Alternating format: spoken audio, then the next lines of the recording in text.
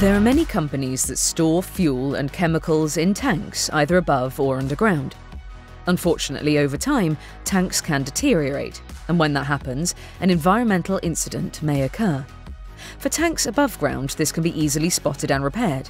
For steel tanks installed underground with no monitoring, there is the potential for leaks to go unnoticed.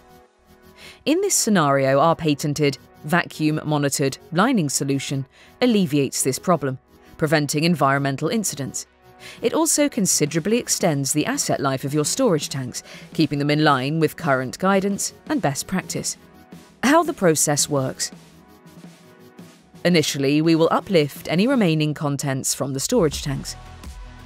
Once the tank has been emptied, cleaned, and degassed, we examine the internal substrate of the tank employing NDT techniques to identify any concerns. We then reinforce any thinner or weaker areas. The tank surface is then prepared for the application of our unique lining system by our fully qualified team of confined space technicians. The process is documented in a report with photographic details of the process.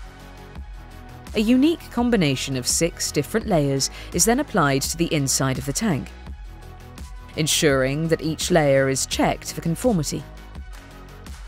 The combined total depth of these layers forming the interstitial space is less than 6 mm, but provides a robust double skin installation.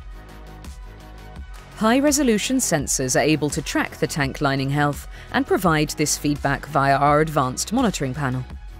Older vacuum monitoring systems can be replaced and updated with our system.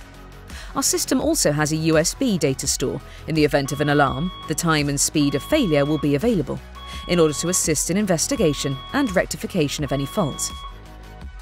Our lining product can be used on current single skin or double skin tanks and comes with a 10 year warranty on the lining.